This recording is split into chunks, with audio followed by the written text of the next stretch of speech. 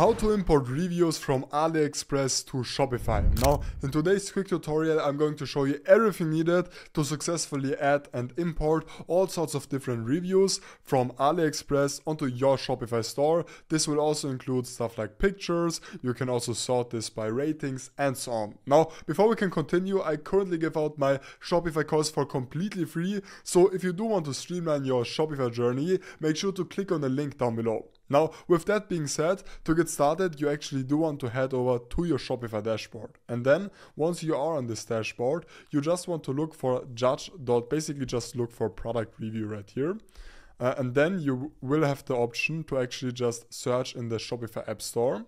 Um, and this will then open up the App Store. Now, as you can see, there are tons of different product review apps. Now, some of these are going to be paid. Like for example, this uh, this Loox one. Uh, a lot of other YouTubers are going to tell tell you that you should actually get this because they do have an affiliate link for this one. But basically, the one that I would recommend you to get started with would be this Judge.me product reviews app, as this is actually completely free uh, when getting started. Now, just select this app right here and then click on install. Now, this is then going to take a couple of seconds.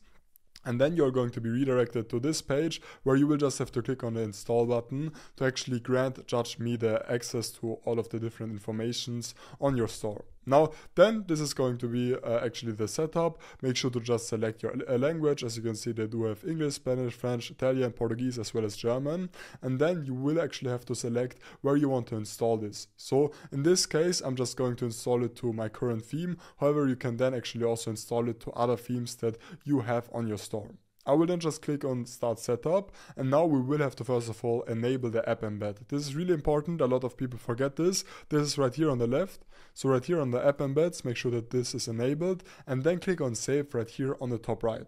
This is then going to be saved. Now we can head back to Judge.me. We can then click on next step. Now we will actually have to install the review widget onto our store. So in this case, this is then automatically going to redirect us. And as you can see right here on the left, the review widget now got added. So if we're now going to click on got it, as you can see, um, there are, this is basically just a preview of what this is going to look like. And you do have different kind of reviews uh, right here. And you can then actually also further customize this. However, just for the beginner, this is how this is going to look like. You can then obviously also play around with this. You can, for example, drag it to the top right here uh, and so on. Now let me quickly change the preview of this to give you guys a better idea. So for example, for this portable fruit juicy blender, the customer review, review section is then going to show up right here. Okay, then make sure to save this, head back to the setup right here and click on next step.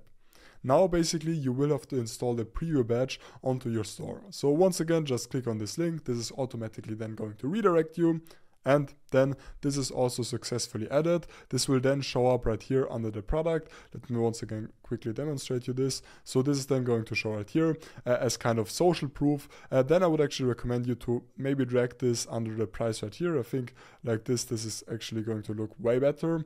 And then you do have your sample reviews right here. Obviously, we are going to update this with the actual reviews uh, from AliExpress later on. So once you're ready with that, you will just have to click on finish right now.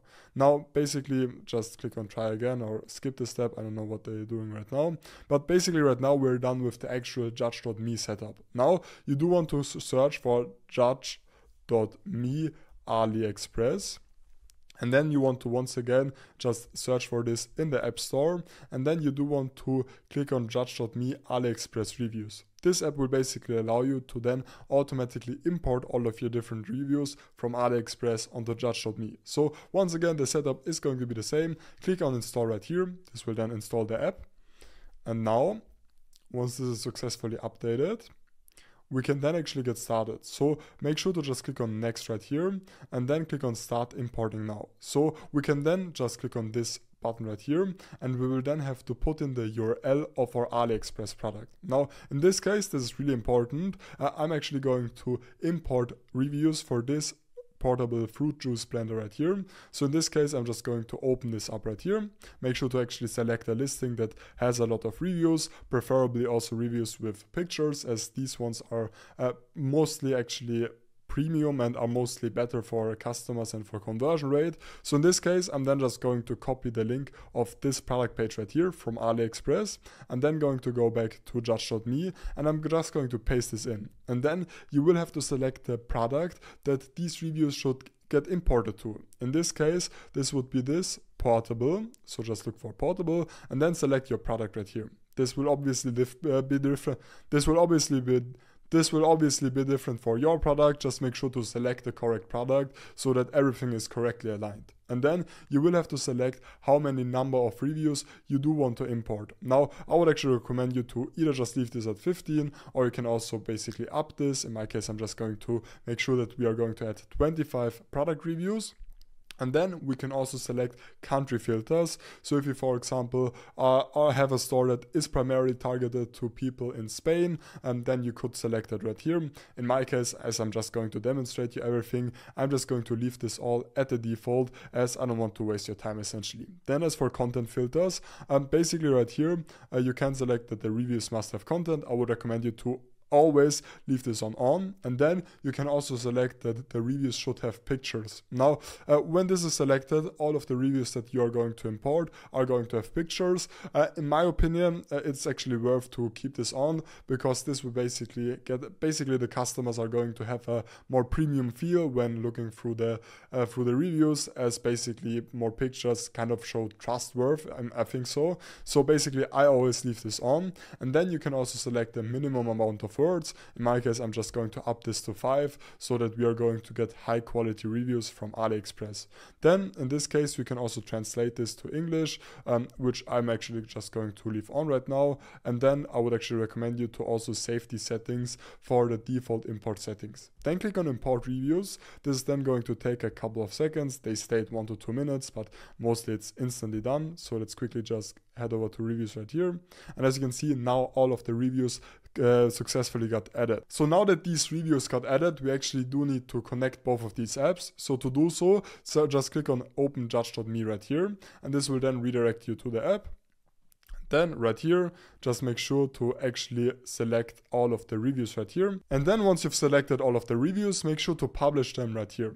Then once these are published, these are actually going to show up right here under product reviews. So if we're now going to open up our online store, these should actually now show up. So let me quickly open up the pro uh, product right here. And as you can see, now we do have all of the different uh, reviews. Now I would actually recommend you to um, basically delete the one star reviews as these aren't going to build up a lot of trust. But basically you do have your reviews right here. However, we aren't done yet. I will also show you how to customize this because in my opinion, by default, this default widget doesn't really look that nice. To customize this widget, you will just have to head back to judge.me and then head to widgets right here on the left.